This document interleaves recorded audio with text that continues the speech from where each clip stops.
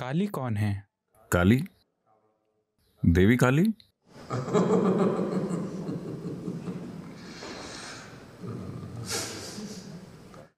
काली मुसीबत है। वो महिला, वो बहुत भयंकर महिला है। वैसी महिला को संभालने के लिए आपको एक अलग तरह का हुनर चाहिए। क्योंकि भारत में विशेष रूप से विभिन्न देवताओं और देवियों का सृजन किया गया है।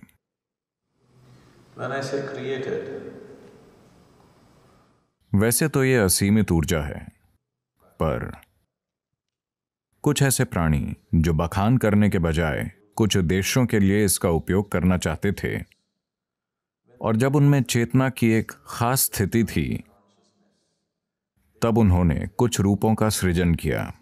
कुछ सुखद, कुछ प्रचंड, कुछ दूसरी तरह के, ताकि उनका उपयोग आपके जीवन के अलग अलग आयामों के लिए किया जा सके।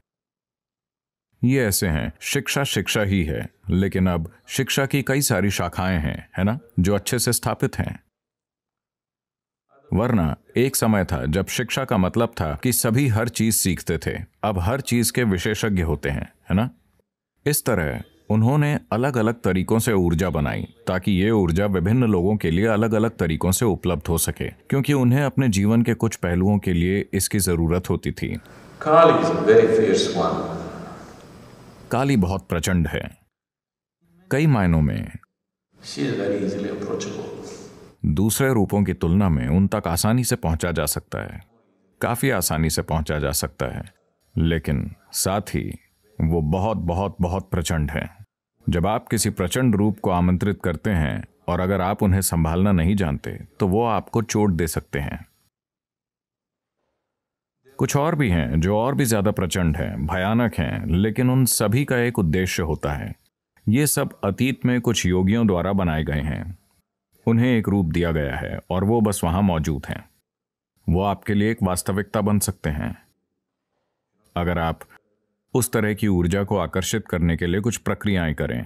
तो ये आपके लिए एक जीवंत वास्तविकता बन सकते हैं। काली बस एक देवी नहीं है जिनमें आप विश्वास करें। वो आपके सामने चल सकती हैं, क्योंकि एक बार जब आप उनके लिए ज़रूरी ऊर्जा शरीर बना लेते हैं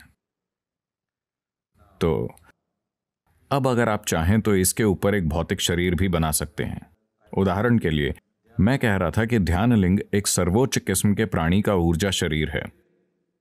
सिद्धांत रूप से यह संभव है कि अगर हम चाहें तो उसके लिए एक भौतिक शरीर बना सकते हैं। सिद्धांत रूप से यह संभव है। इसमें बहुत अधिक कार्य करना होगा और ये अंत में किसी लाभ का नहीं होगा। एक और इंसान बनाने का क्या तुक है? जिस तरह से मैं हूँ, उसे आपके द्वारा अभी अनुभव न करने का एकमात्र कारण है कि मैं एक भौतिक शरीर में हूँ और आपकी तरह बोलता हूँ और आपकी तरह चीज़ें करता हूँ। अगर मैं किसी और रूप में होता तो लोगों के लिए बहुत आसान होता, क्योंकि तब आपको नहीं दिखता।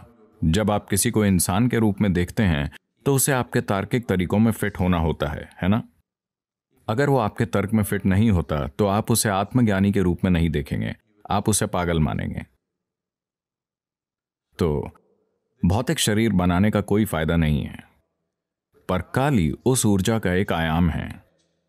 ध्यान लिंग में सभी आयाम शामिल हैं तो ये एक अलग चीज़ है, पर काली एक खास आयाम है। उन्होंने काली को बनाकर खुला छोड़ दिया।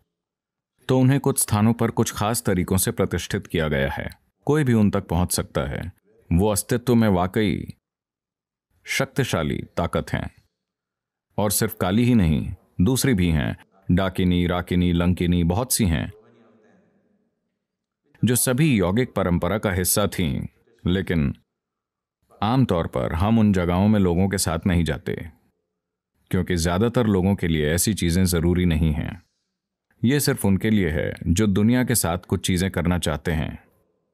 उन्हें ये चीज़ें जानने की ज़रूरत होती है। दूसरे लोग जो सिर्फ़ आपकी मुक्ति चाहते हैं, उन्हें ऐसी चीज़ों पर विश्वास करने की ज़रूरत भी नहीं है, उन्हें ऐसी जगहों में घुसने की ज़रूरत भी नहीं है, क्योंकि इसमें बहुत जटिलताएँ हैं। ये सृष्टिकर्ता की भूमिका करने की कोशिश करने जैसा है। इसमें बहुत अधिक जटिलताएँ हैं।